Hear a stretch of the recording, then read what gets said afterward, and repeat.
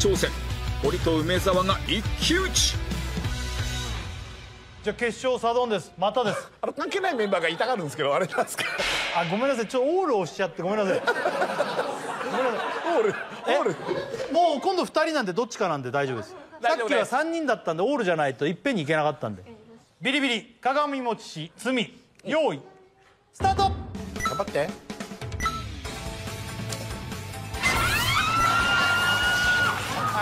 ールオールオールオールをしてんの。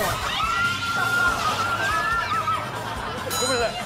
オールをしてんから。どれかどれかこれか？違うのよ。あこれ秋元だ。堀と梅だけなのよ。あこれ山下か。堀と梅沢だけなのよ